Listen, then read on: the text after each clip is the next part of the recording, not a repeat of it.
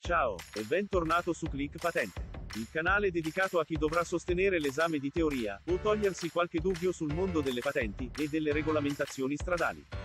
Prima di cominciare, ti ricordo che iscrivendoti al canale, e facendo clic sulla campanellina potrai rimanere sempre aggiornato sui prossimi video.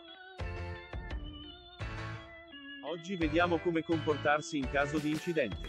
Per prima cosa, devi spegnere il motore per evitare possibili incendi. In caso di incendio, utilizza un estintore se presente. In caso contrario, puoi usare una coperta bagnata, terra o sabbia. Se sei coinvolto in un incidente in cui qualcuno si è ferito, è tuo obbligo fermarti a soccorrerlo, questo potrebbe significare salvargli la vita.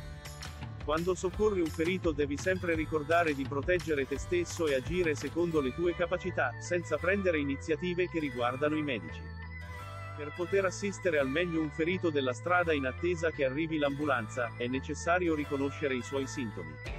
Questi possono essere, lo stato di incoscienza e di shock, l'emorragia, le fratture, un corpo estraneo in un occhio, e le ustioni. Lo stato di incoscienza si manifesta quando la vittima è confusa e poco vigile. In questo caso, assicurati che respiri mettendo una mano sulla parte bassa dell'addome.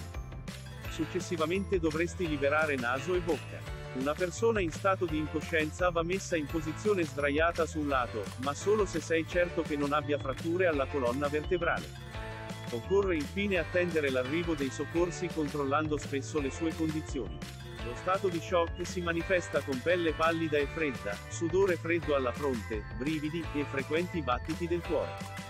Lo stato di shock può essere causato dal dolore, dall'emozione, dalla perdita di sangue, o da un trauma.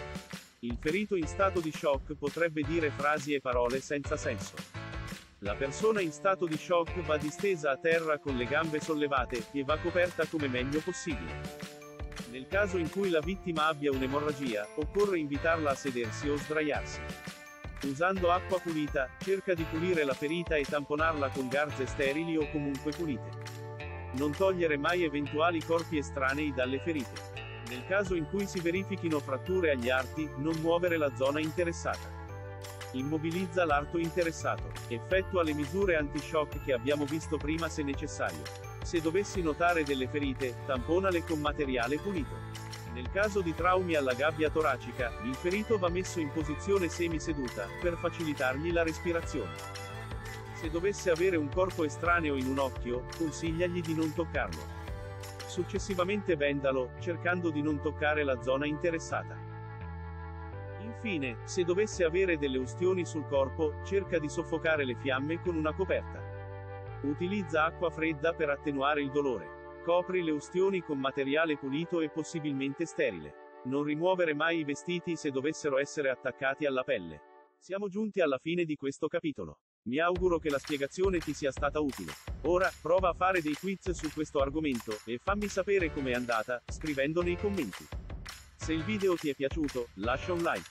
Ti ricordo di iscriverti al canale e di attivare la campanellina, questo ti consentirà di essere sempre aggiornato sulle prossime lezioni. Grazie, e a presto!